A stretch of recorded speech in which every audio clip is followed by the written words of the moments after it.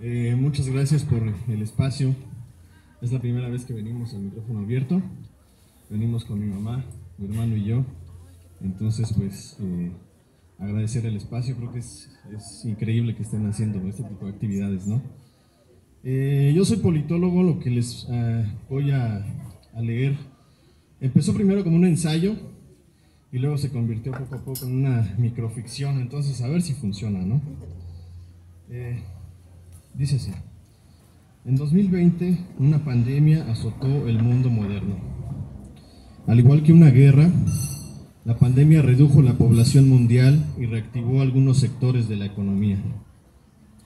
Algunos rumores acerca de, eh, hubo algunos rumores acerca de que el virus fue liberado a propósito por el gobierno chino. Nunca tuvimos pruebas de esto. Lo cierto es que el gobierno mexicano levantó la cuarentena a pesar de que seguían los contagios. El capital y su necesidad de circular venció al Estado y su obligación de preservar la vida. Después de la cuarentena, todo el mundo necesitaba vender y comprar. Podías ver en las calles todos los productos contra el virus, cubrebocas, gel, desinfectantes, gogles, guantes. Y también veías algunos anuncios de seguros de vida, seguros de gastos médicos, planes de financiamiento en funerarias, planes turísticos. Viaje ya, aparte su viaje a las Bahamas o a Cuba o a Acapulco. Aproveche ahora, hoy estamos, mañana quién sabe.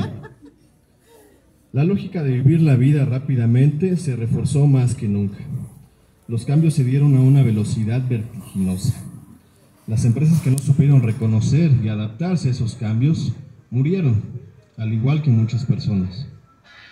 Ahora había que disfrutar de la vida, comer, viajar, tomar, coger, ganar, conocer. Y para hacerlo, tenías que endeudarte y trabajar hasta morir. No sabíamos si vivíamos en realidad o si solo estábamos impulsados a vivir. La vida se volvió efímera. Los pequeños pero significativos proyectos personales se pusieron en duda. Escribir un libro, aprender una disciplina, emprender una empresa, ¿para qué? Si podía llegar una pandemia para acabar con todo. Lo que había que hacer era tomar todos los atajos posibles. Había que disfrutar el momento y, sin embargo, retenerlo, capturarlo para demostrar que le estábamos pasando bien. Había que publicar la foto de aquella cena costosa en las redes sociales mientras pagabas las mensualidades de la tarjeta de crédito. La pandemia nos volvió aún más fríos de lo que ya éramos.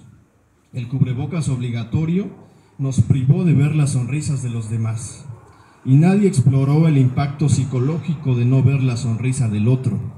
Pero sí sentimos que las jornadas laborales se hicieron más largas, los días más largos y las rutinas más agobiantes. Y solo esperábamos hasta poder quitarnos el cubrebocas para ver las sonrisas de los demás. Por mucho tiempo tampoco pudimos tocarnos ni darnos un abrazo. Y cuando pudimos, ya no quisimos hacerlo. Ahora han pasado un par de décadas desde aquella pandemia. Jamás volvimos a enfermarnos de esa manera. La medicina avanzó para asegurar el rendimiento sostenible y más o menos prolongado de los cuerpos productivos. Ahora nos enfrentamos a nuevos retos. Las fronteras entre lo humano y lo artificial han empezado a disolverse. Ahora los ricos pueden imprimir tejidos para reconstruir sus órganos.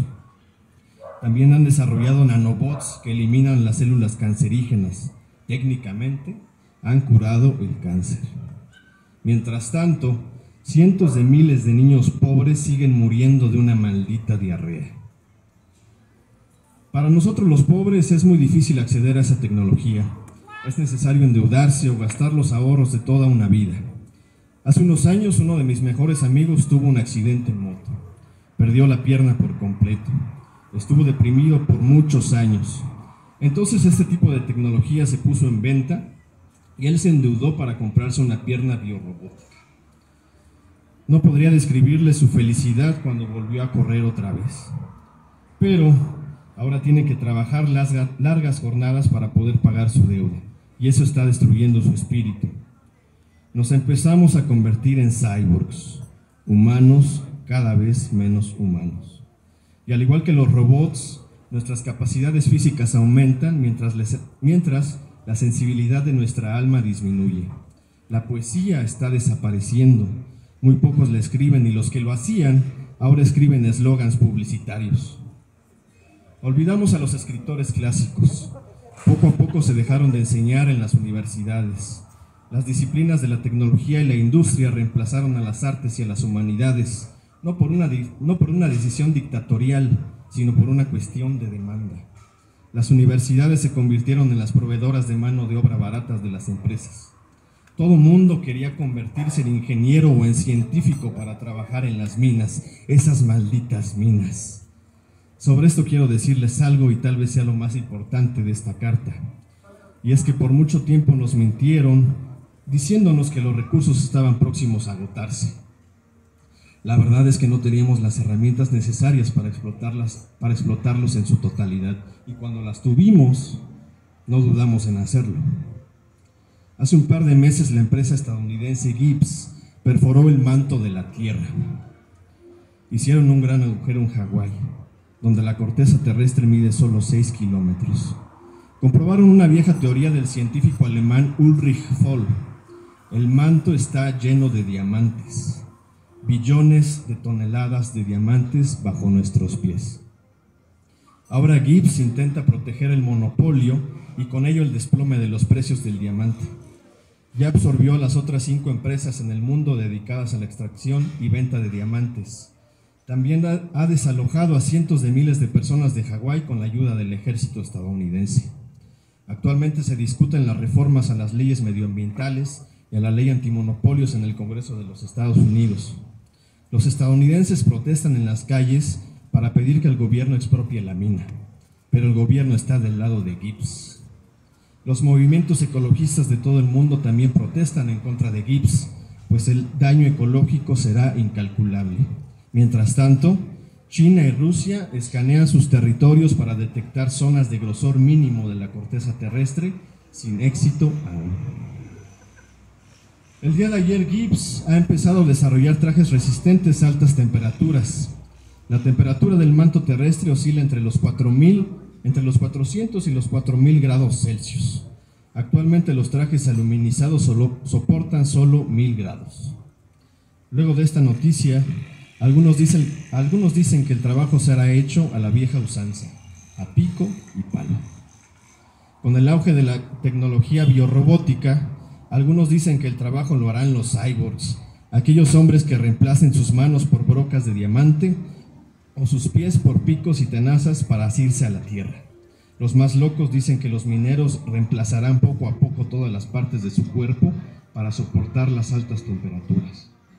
No sabemos mucho de minería, pero si esto sucede, será difícil definir la línea entre lo humano y lo robótico. No sabemos si, si estaremos regidos por las mismas leyes. Empezando por el hecho de que un golpe de un puño de metal dolerá mucho más que el golpe de un puño de carne y hueso. Y luego empezarán a incorporar armas en sus brazos biorrobóticos y habrá personas que sean literalmente un arma caminando.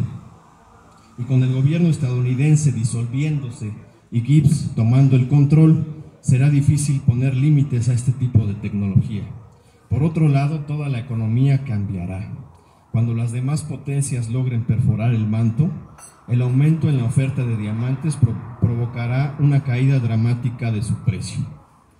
Así que habrá guerras para conservar el monopolio y es probable que una nueva era de pobreza y hambruna comience. Esta es una descripción general de los últimos acontecimientos. Desearía seguir escribiendo, pero se me está agotando el papel. Había olvidado la sensación de escribir a mano uno de mis maestros de la universidad me dijo un día que cuando uno escribe a mano, uno deja parte de su alma en el papel. Es como si tu cuerpo formara una conexión casi metafísica con las palabras. Y así lo fue en este momento. Escribía y hablaba al mismo tiempo, como un niño que recién ha aprendido a escribir. Mi hija me ha escuchado decir cada palabra desde el cuarto contiguo. No era mi intención perturbarla. Ha entrado a mi recámara muy asustada preguntándome si nos vamos a morir. Mi amor, le digo a mi hija, no nos vamos a morir, vamos a vivir felices para toda la vida. y jugaremos todos los días con tu mamá y con tu perrito. Te lo prometo. Ven, abrázame. Eso es todo, muchas gracias.